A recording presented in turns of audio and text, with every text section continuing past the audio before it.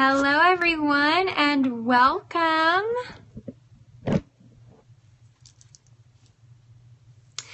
Hi, everyone. Welcome to your weekend edition, your special April 2nd, Saturday weekend edition of Lunch Bites.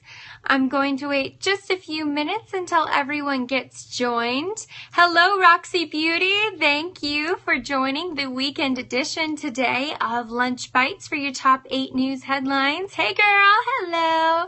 Thank you for joining me. Just waiting a couple minutes for some other people to get joined. If you wouldn't mind, if you're on an iOS device, uh, you're getting ready for brunch too. Perfect. I'm going to give you some perfect talking points for that brunch. If you'll just swipe right and invite some followers, that would be awesome so that everybody, or if you're on an iOS or Android, swipe up or down and invite some followers. We're going to go over the top eight headlines, guys, so that you have the perfect talking conversation for your lunch um, or brunch weekend, weekend brunch conversations today. So I would love it if you guys would share this broadcast, invite some followers. I would love that, guys, so that we can get everybody informed today. It would make me very happy. I'll give you a special shout out.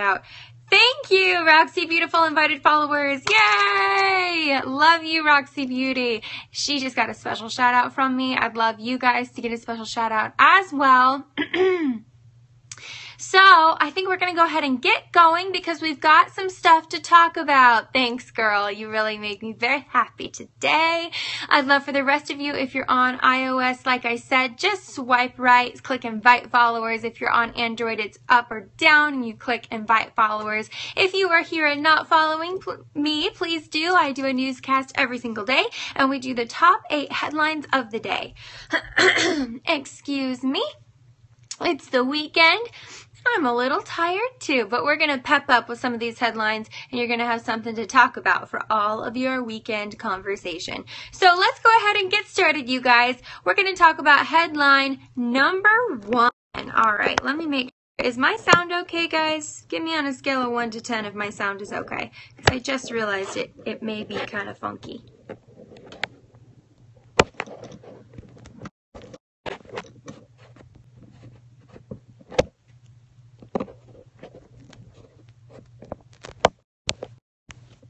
Yeah? Can you guys hear me?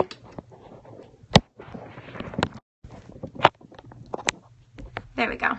That should be better, yeah? All right, well, regardless, here we go. All right, guys, special weekend edition. It is April 2nd, Saturday, and here are your top news stories thanks to Refinery 29. Number one, a new Ebola case has been confirmed in Liberia. Unfortunately, several months after the virus was thought to be contained. So we're overseas. This is a little bit of national news. Reuters has reported this. The victim unfortunately died on Thursday and it was a woman in her early 30s.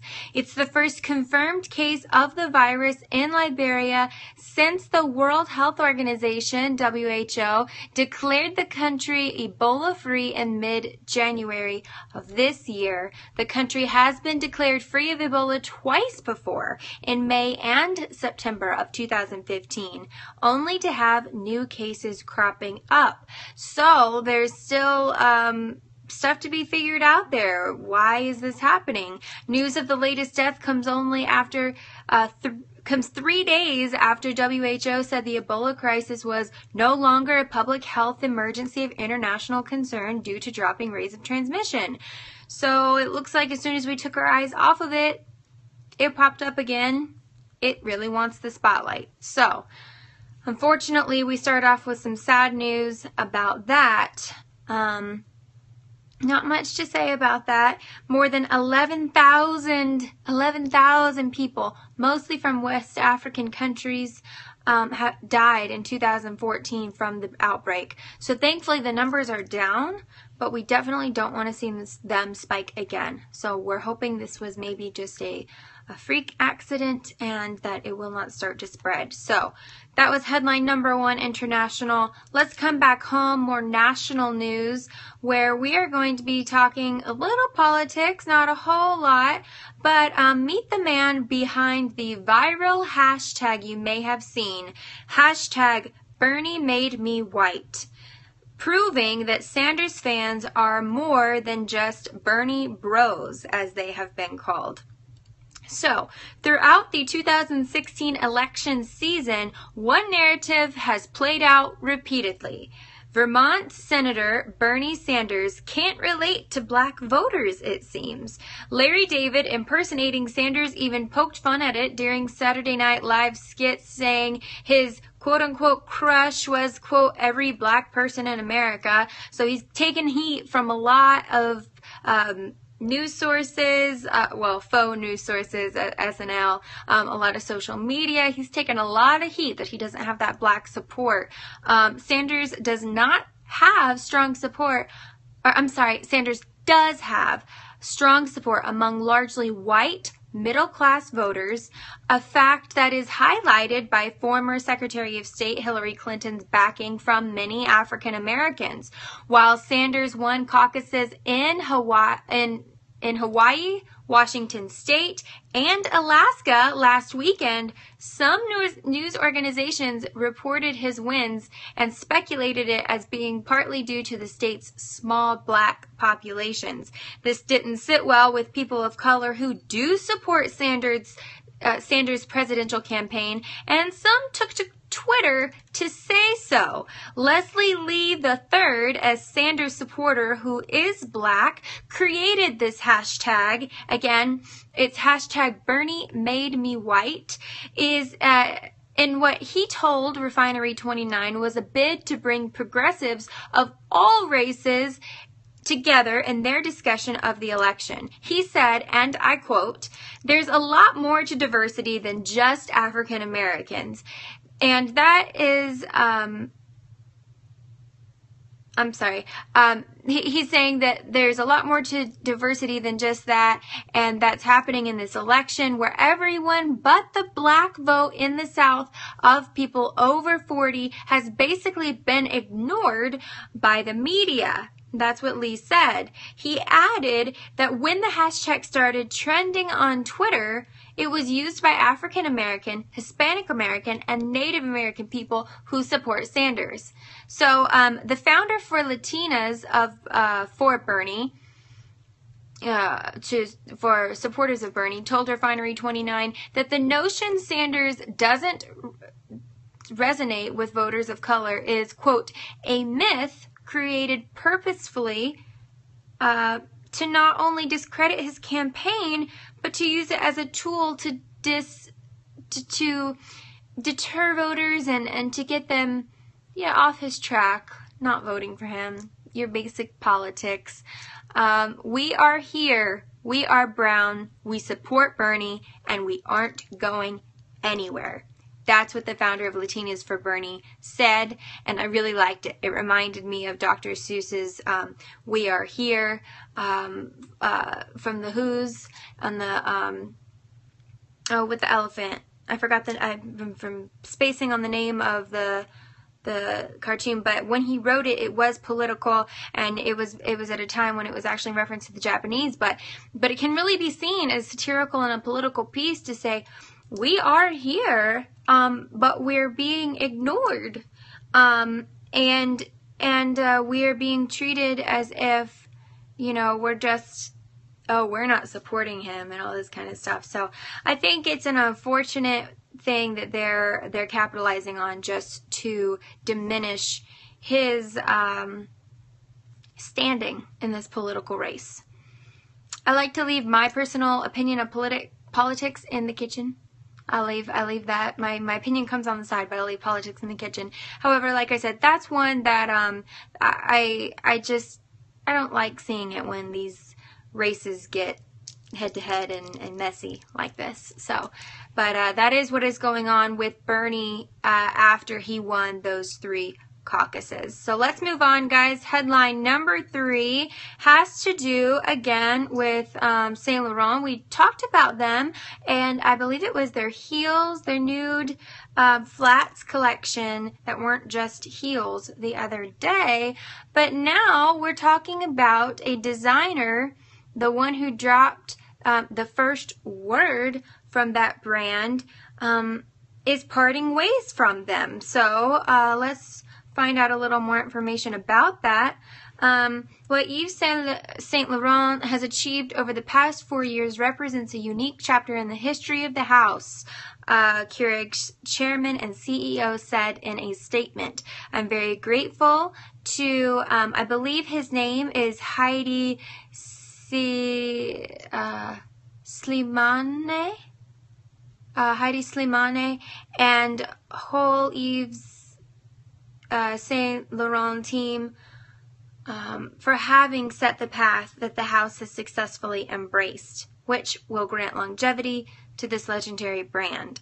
So um, it says that um, the the man who's leaving the company was thought to very feasibly be on his way out at the brand in mid-January when word circulated that the designer hadn't yet signed a new contract with Kering, which is the parent company. No word yet on his successor, although some people have been discussed. There's not an official person, and uh, the company will release further details about the brand's creative direction, presumably including a short-term interim plan of action um, shortly, per the statement.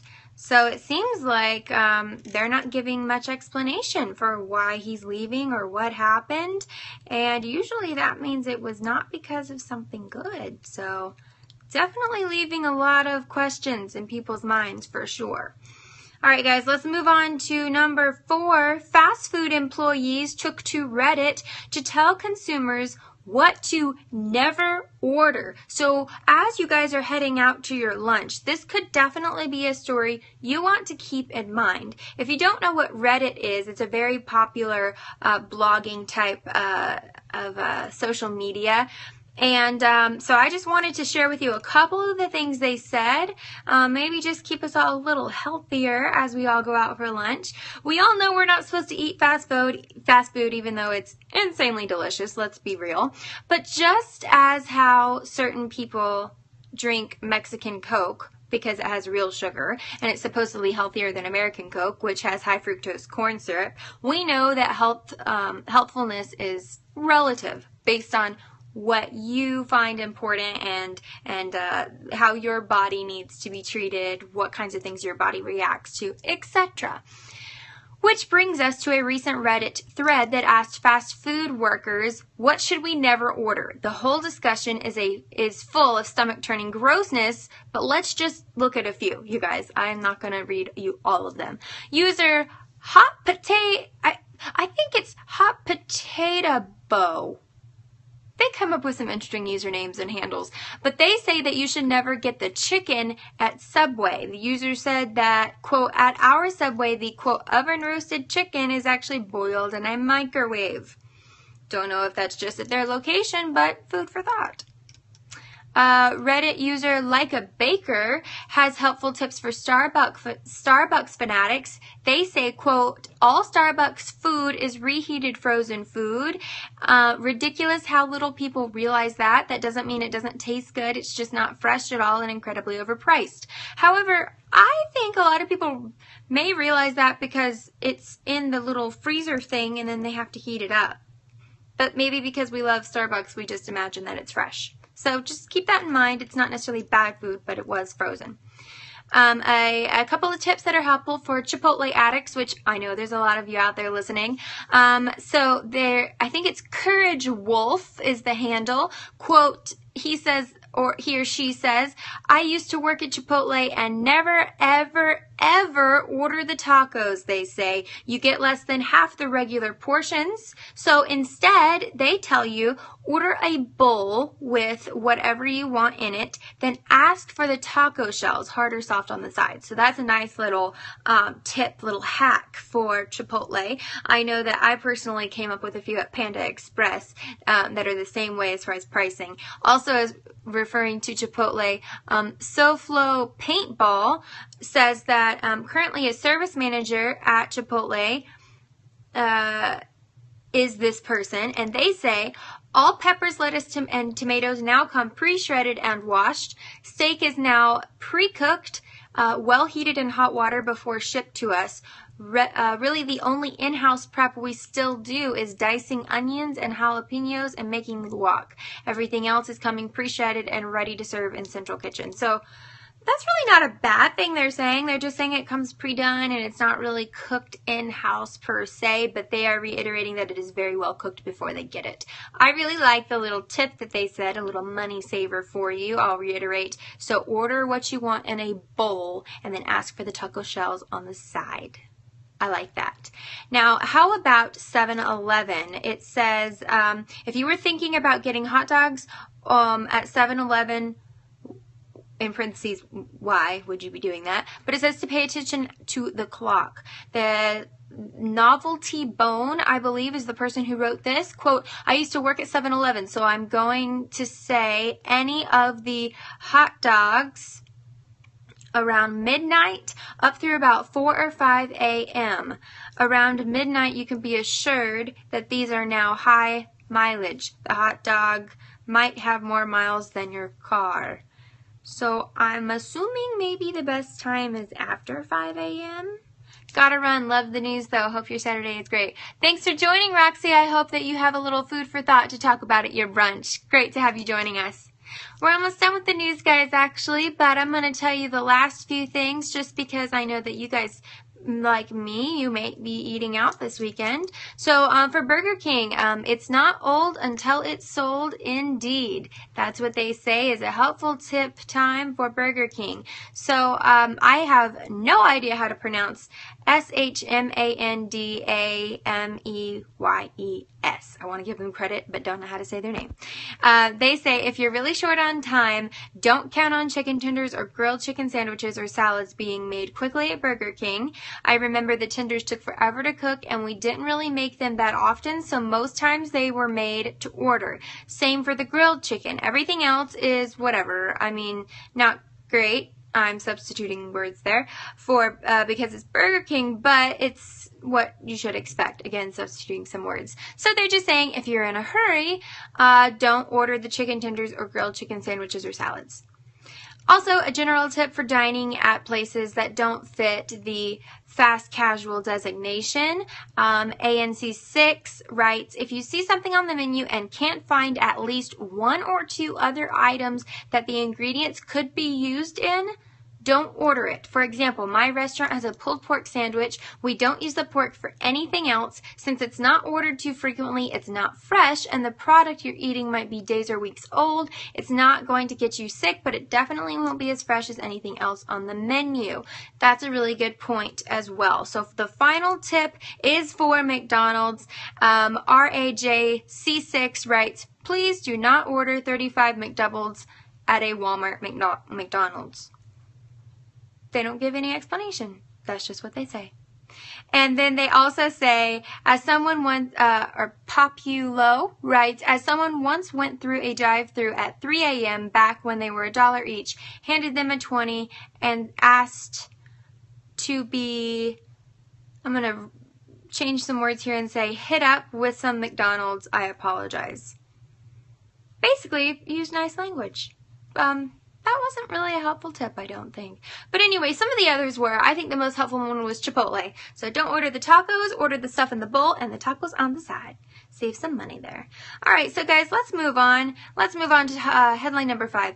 Confirming your theory. Music tastes do reflect personalities. Empathetic is tremolo, as analytic is to energetic. So, of course, you know how to look up this a little bit.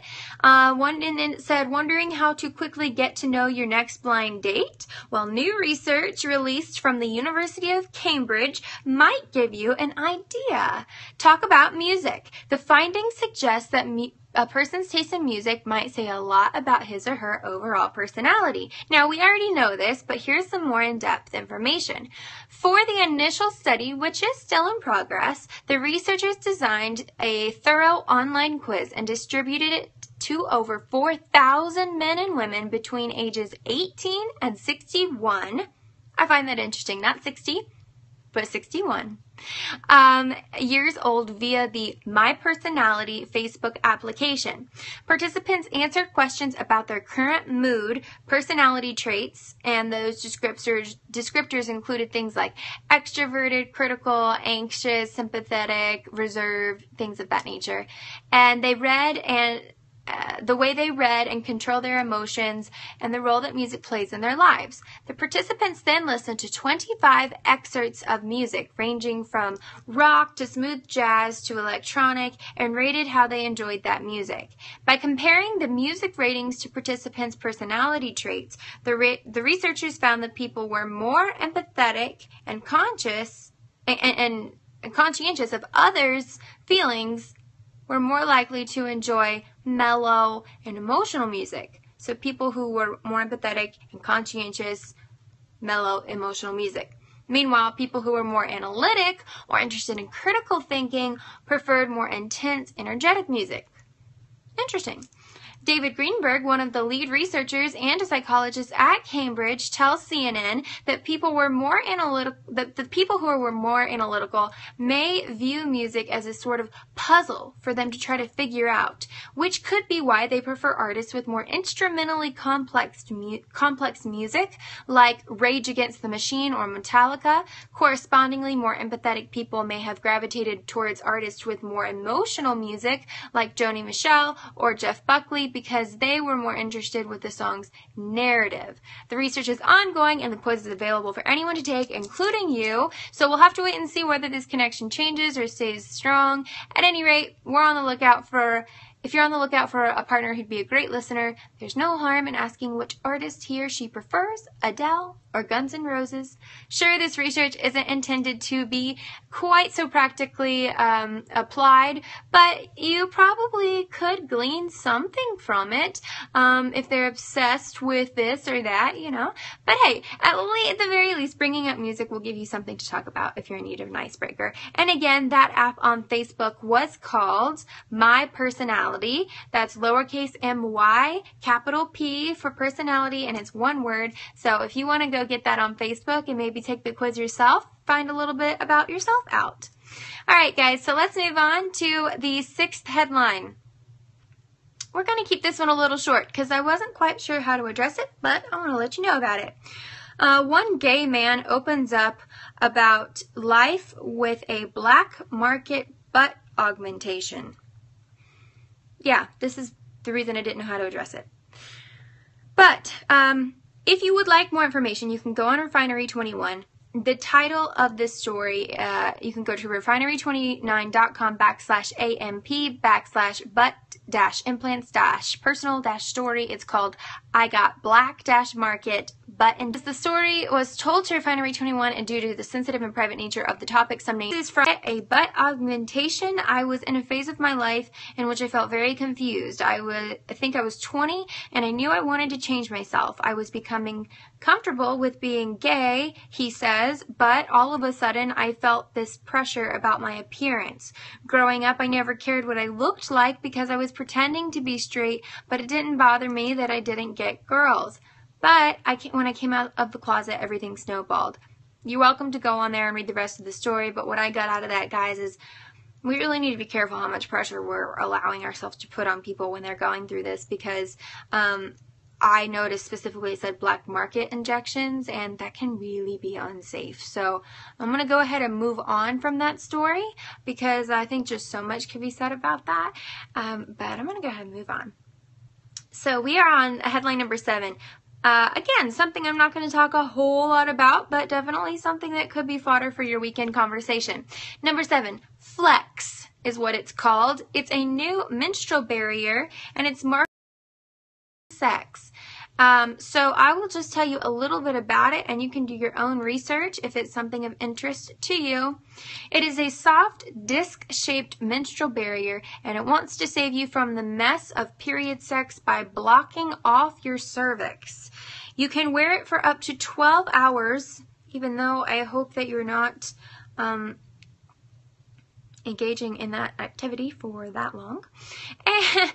And with its sleek packaging and one-time use, it bears a stark resemblance to a condom. so they say. But it's really more of a soft period cup, like the aptly named soft cup, but it's meant to make period sex more like regular sex. Um, it's if you're just tuning in, I'm reading the news headlines. This isn't my normal conversation. Uh, another very important difference: it doesn't work as a birth control method or help to prevent STDs as condoms do. So really, its only mission. Um, is just to help you be able to um, engage in sex while on your period and make it less messy. So, like I said, if you want to read more about that, it is um, by, it is on Refinery 29. The title is "This Tampon Alternative Wants to Make Period Period Sex Mess Dash Free." So, feel free to research that all you want. Again, it's called Flex and I'm going to let that be and move on to our very last headline, guys. It is uh, number eight 15 of the best April Fool Day gags to laugh about over brunch. So I'm not going to go through all these 15. Um, I would love for you guys to be able to check them out. Um, the headline on this one, guys, is um, it's on Refinery 29, and the headline is Our Favorite April Fool's Day Gag. So you guys are absolutely welcome. Go check that out. But I had to share with you one thing on it that I thought was really interesting. And it's not necessarily a gag, it's true. So Zipcar is something kind of like Uber, you know, it's one of those car assistant things. Um, Zipcar's self driving. Um, apparently it's a self-driving car. I'm, I'm, a little confused as to the service per se, but this is what I got a kick out of. Listen to this. Reserving Zipcars just got much easier. Now all you need to do it with is a selfie. Guys, what a time to be alive. Oh, listen to this. The Zipcar app will use your selfie to help you find the best car for that day. If your selfie has multiple people in it, it'll pair you with a larger car. If you look stressed, it'll get you a comfier car. If you look super fly, it'll get you a special car from the brand new Diddy line. Sign up for one of those. Or sign us up for one of those. So I just, I thought that was great. Like somehow it's got an algorithm to gauge your face, or maybe they've hired FBI, former FBI profilers to you know, look at your face. I don't know. I'd love to see the behind the scenes, but again, that Zipcar, if you want to look into that more. So that is your April 2nd special edition weekend Brunch Bites news of the day. Thank you guys so much for joining me. I hope that helps you with some of your conversation fodder for the weekend. Of course, I am continuing my second series of hashtag Alpha Bites. I have posted it to Snapchat. I hope that you're following me there and that you saw the story. I will be posting it later today to Instagram because I wanted you guys to get the first look yesterday on Snapchat. Today is letter B. So I will be back later today to do that challenge with you. So you guys, you have a great Saturday, a great April 2nd, and I hope your weekend is fantastic. I will catch you later. Bye.